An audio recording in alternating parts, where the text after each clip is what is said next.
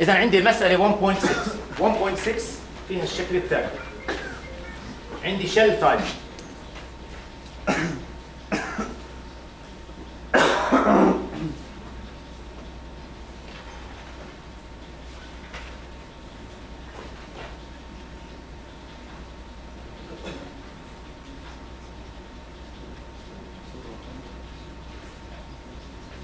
في عندي air gap على الجهة اليمين وفي air gap على الجهة الشمال. عندي هاي الجهة هون ال air gap 0.05 of a centimeter وعندي على الجهة الثانية.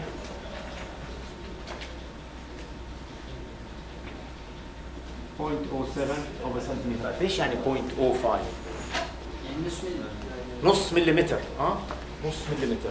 وهون عندي 7 بالعشرة مليمتر. air gap صغيرة جدا. اللي هي ال air gap اللي بتوقعها من ناحية واقعية. ما بدها تكبر ال air gap كثير.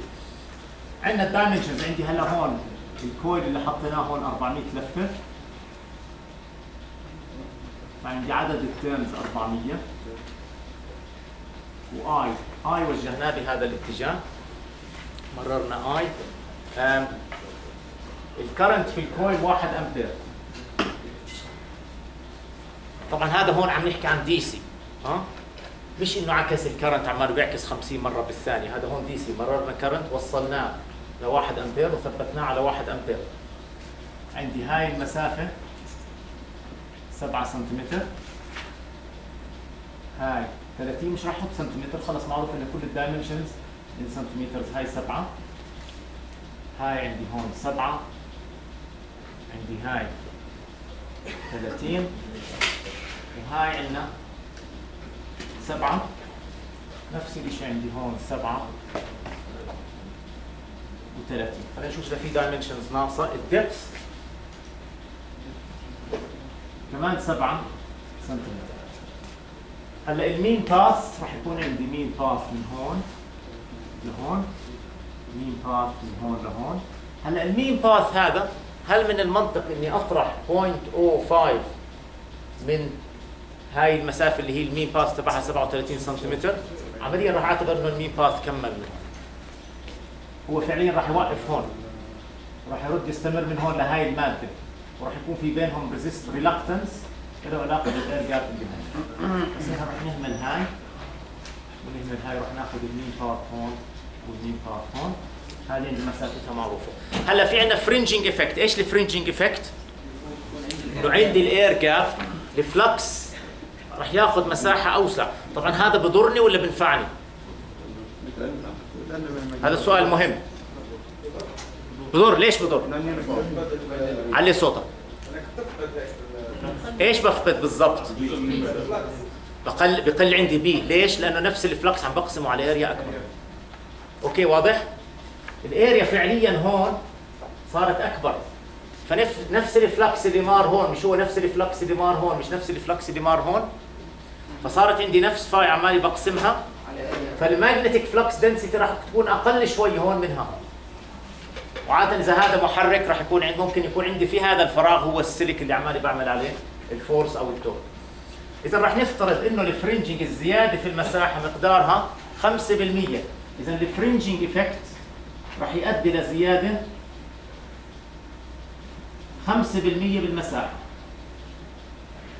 فراح أضرب المساحة تبعت هذا ال face الوجه هذا اللي موجود هون راح أضرب هاي المساحة ب 5% عشان آخذ بعين الاعتبار المساحة تبعت اللي عندي ال air gap مساحه المساحة اللي ال flux بيتحرك عندها عندي ال air gap حكينا 400 turn عندي mu relative راح تساوي 2000 طبعا mu relative لمين؟ للمادة هاي ال ferromagnetic mu طبعا لل free space راح تكون mu naught 4 pi times 10 to the minus 7 إيش الوحدة؟ henrys per meter per ها؟ علي صوتك. أنا ما كبست الهاي. كبستها عم بسجل. إيش إيش في عندنا أشياء نواقص ثانية؟ إذا عندي هاي ال air gap هاي ال dimensions موجودة ال thickness موجودة ال fringing effect موجود عدد ال turns موجود. هلا المطلوب بدنا نلاقي ال flux density في كل واحدة من ال air gaps هلا هون واضح عندي إنه هذا مش متماثل مع هذا. للأسف إنه كل شيء متماثل إلا فتحة ال air gap وتذكروا حكينا امبارح شو راح تكون على فكرة على ال air gap هاي؟ غير ال flux إيش راح تكون على ال air gap force هذول الاثنين راح يحاولوا يجذبوا بعض. فراح يكون عندي force بس إحنا المفروض إن ال force تكون ضعيفة لدرجة إنه هذا stiff enough ما يأثر عليه. بس في force شفتوا الجهاز اللي فرجيتكم إياه امبارح؟ آه ال contactor. كيف انجذب بالآخر؟ في air gap كان. واللي مبعد الايز التنتين عن بعض كان إيش؟ الزنبرك. ولما مر عندي تيار وتكون flux صار force على ال air gap وسكر. هون هاي ما راح يصير في ما أظن راح يصير في force كفاية بحيث إنها هذه مادة very stiff القطعة هاي اللي موجودة very stiff اذا راح نسمي هذول راح نسمي ال left hand portion راح نسميها R1 فهاد وهاد وهاد راح أسميهم R1 ال air gap هاي راح أسميها R2 بعدين عندي R3 هو ال right hand portion راح نسمي هذا.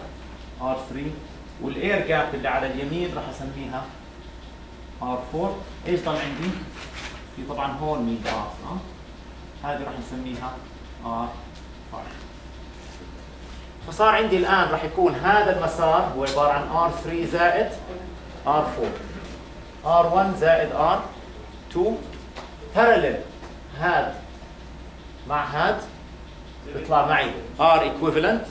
وإن سيريز مع R5 فإحنا بنقول إنه R total أو equivalent بتساوي R5 in series مع البارallel combination.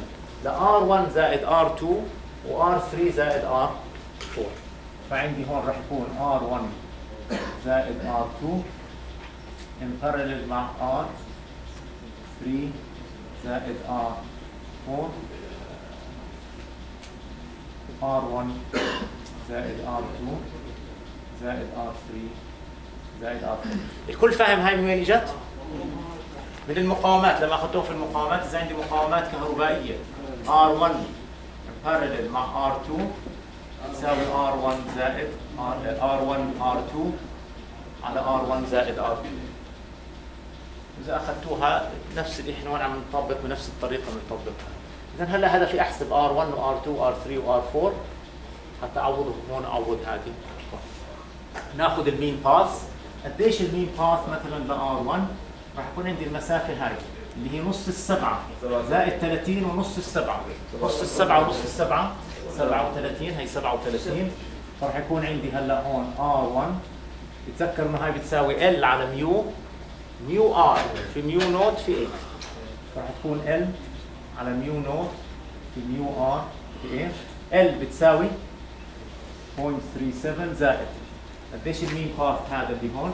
راح نهمل هاي مسافة فراح تكون دي نفس الشيء مش هيك 37 وهون كمان 37 فبتصير عندي 0.37 زائد 0.37 على ميو نوت 4 pi times 10 to the minus 7 mu relative 2000 وال area ال depth عندي 7 وال thickness 7 مش هيك؟ ف 7 سنتيمتر تربيع بس لازم أحولها إلى أمتار. هدول تحولوا لامتار ها؟ فبيطلع معي قيمة R1 90.1 وتذكروا الوحدات قلنا امبارح أمبير turns per per ويبر مش هيك؟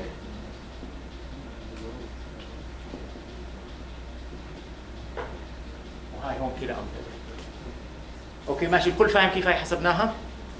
ليش ما طرحنا هذا 0.07 أطرح 0.07 على 100 من 0.37 مش راح يأثر شيء في القيمة هاي اللي موجودة. القيمة النص اللي موجودة هون.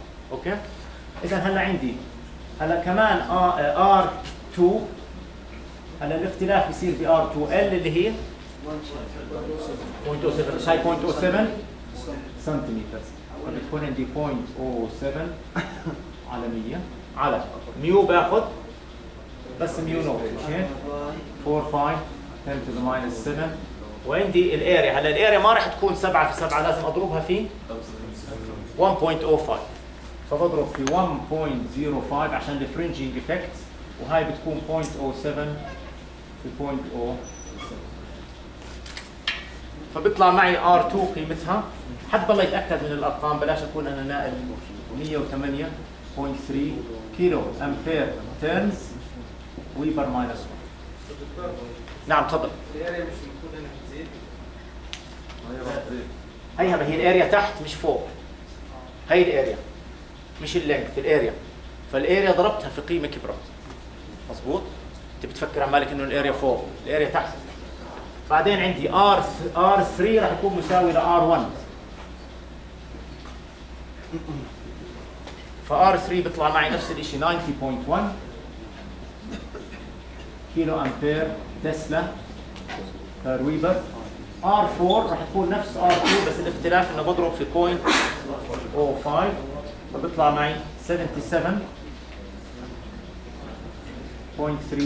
كيلو أمبير turns ويبر minus minus 1 وآخر شيء R 5 قديش ال mean length تبع R 5 نفس الشيء مش هيك؟ 37 وال cross section ال area 7 في 7 وال material نفسها من هون.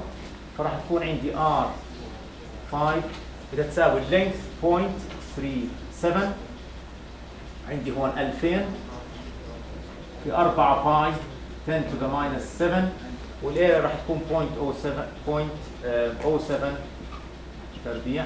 فبتطلع معي R5 30 كيلو امبير turns minus صار عندي هلا R5 هلا بعوض R5 زائد uh, حاصل ضرب هذول الاثنين بدي اجمع R1 زائد R2 R3 زائد R4 هاي صارت كلها مجموع هذول in parallel مع مجموع هذول لأنه هذه صارت كأنها دائرة تذكروا امبارح حطينا ال equivalent أو ال analogy هاي مش مساوية لها شو بنقول هاي؟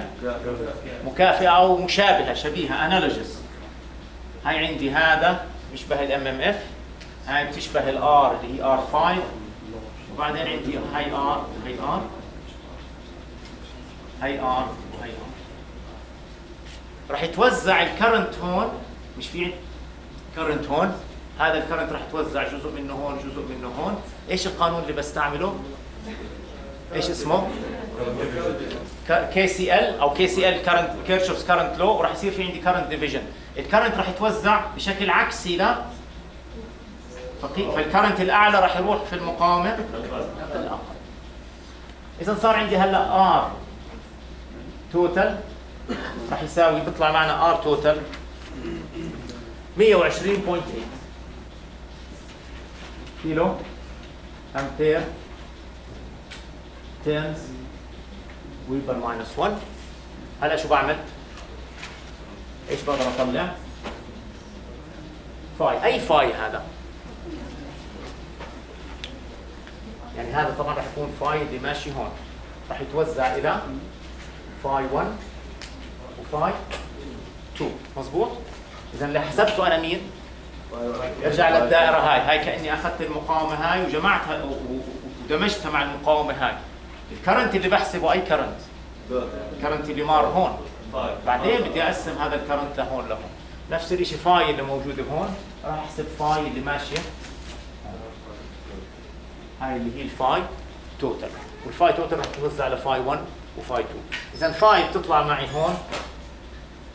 آه عندي ال MMF إيش ال MMF بيساوي طبعا phi بدها تساوي على ها؟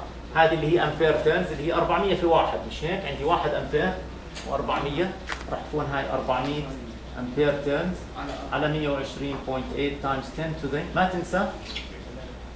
ثلاثة اللي هون بيطلع milli milli webers مش هيك؟ فعندي 0.0033 webers أو 1 2 3 3.3 milli webers طبعا milli webers ببين قليل بس هو ال B بيكون عالي. ليش؟ ال cross section ال area رح تكون قليلة. رح مش رح أطلع حتى أطلع ال magnetic flux density. اذا هذا أول جزء من هذا السؤال طلعنا. phi ال total